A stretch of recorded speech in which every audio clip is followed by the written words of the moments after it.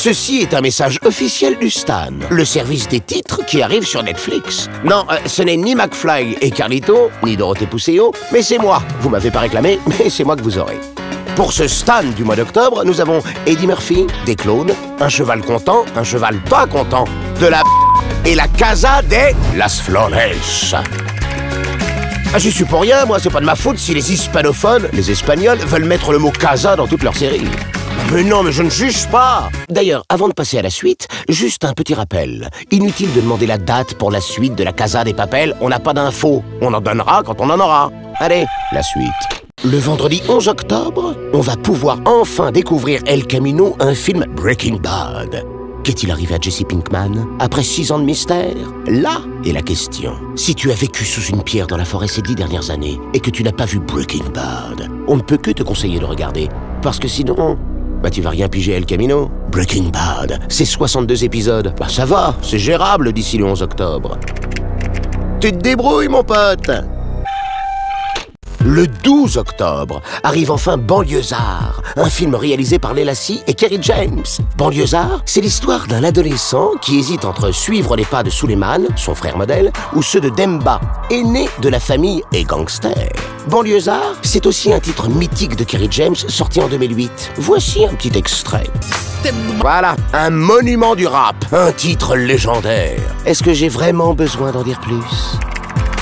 Nope Mais le 12 octobre, pas de souci, Banlieusard de Kerry James sera bien disponible. Le 24 octobre débarque la série apocalyptique Daybreak. Tu vois The Walking Dead? Tu vois World War Z? Eh ben ça n'a rien à voir.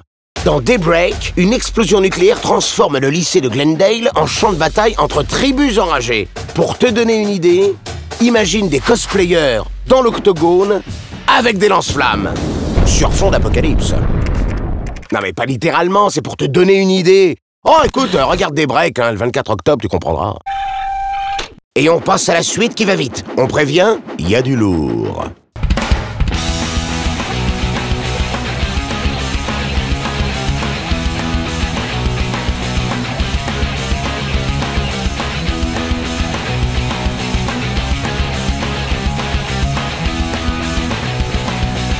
Il n'y aura pas tous les épisodes de Riverdale saison 4 d'un coup. La série est diffusée à raison d'un épisode par semaine, diffusé 24 heures après les États-Unis. Parfois la série est en pause et n'est pas diffusée. Il n'y aura donc pas d'épisode le lendemain. Ça arrive pendant la période des fêtes par exemple. Pendant les pauses, il est conseillé de regarder une autre série ou de faire autre chose de son temps libre, comme apprendre le suédois ou chatouiller un ami. Merci de votre compréhension.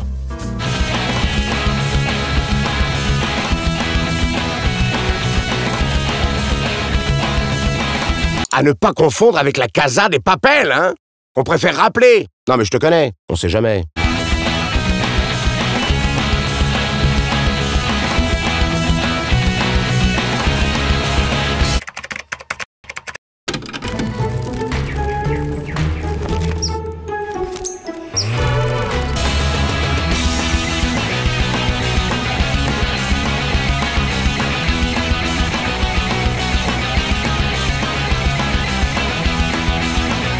Avant de conclure, une dernière petite chose. En fait, les gars, on sait pour les épisodes de South Park sur la plateforme, et on sait que vous avez les glandes. Mais cherchez au fond de votre cœur pour y trouver la bonté et l'amour. J'aimerais que vous pensiez à tout ce que Netflix FR fait pour vous. Chaque jour, on vous aime, les mecs. Ceci était un message officiel du Stan, le service des titres qui arrive sur Netflix. Message terminé.